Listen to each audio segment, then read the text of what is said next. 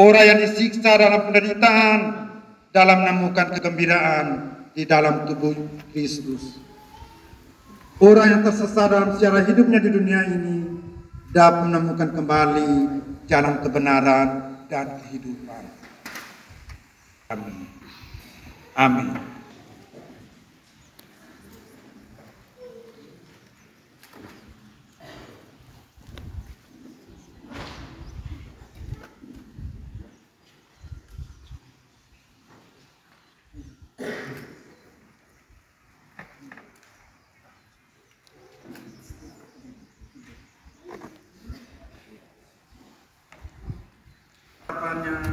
Dengan menjawab pertanyaan-pertanyaan saya. Sanggupkah kamu menjadi menjadi tanda yang membawa berkah dan terang bagi sesamamu? Ya, saya sanggup. Anak-anakku yang terkasih, ini tiba saatnya kamu membaru kembali iman dan kepercayaan kepada Allah.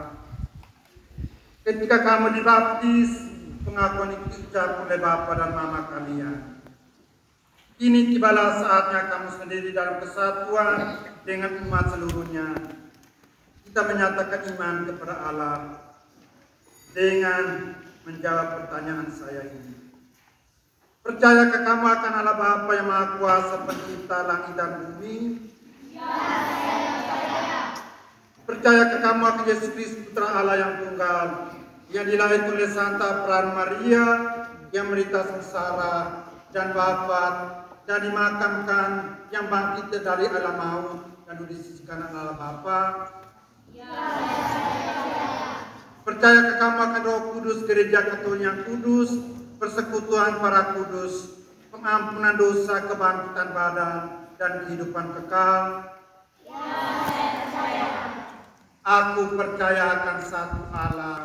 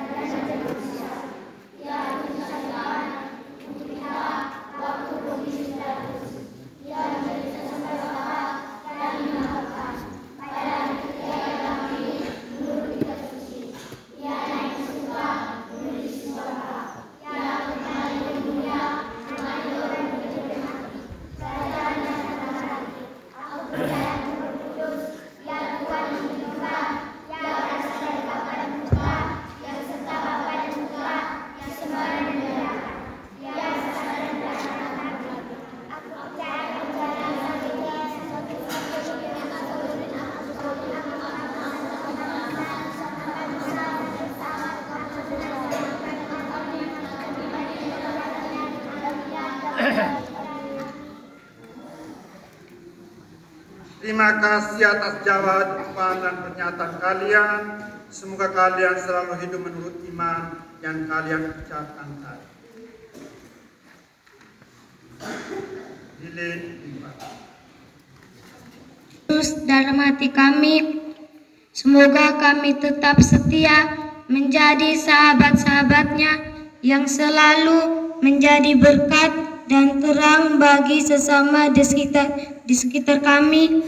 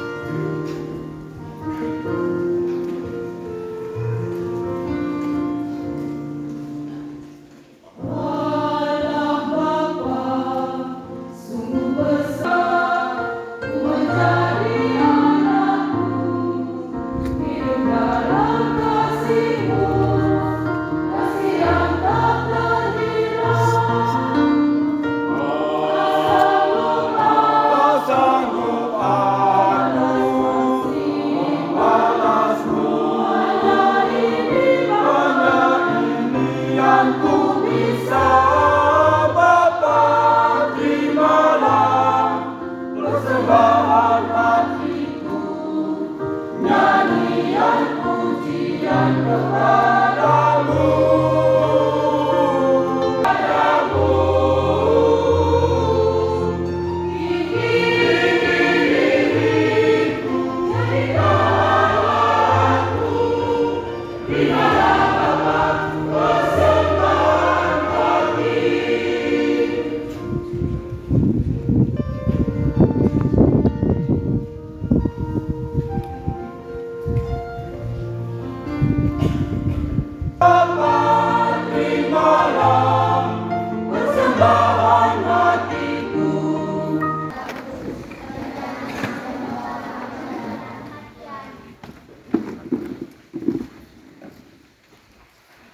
Saudara-saudariku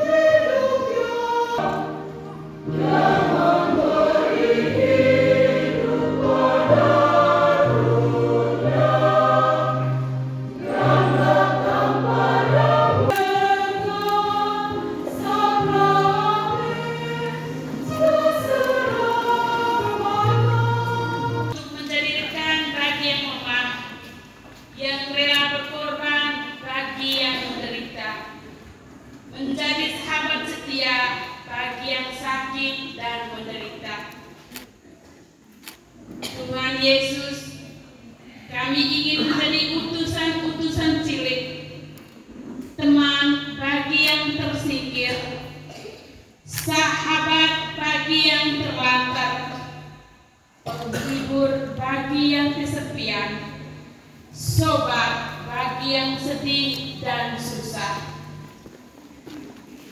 Tuhan Yesus, bantulah kami dengan rohmu untuk menjadi ragi yang baik dan garam yang bermanfaat, menjadi obor yang menerangi dan pembawa kegembiraan dan harapan.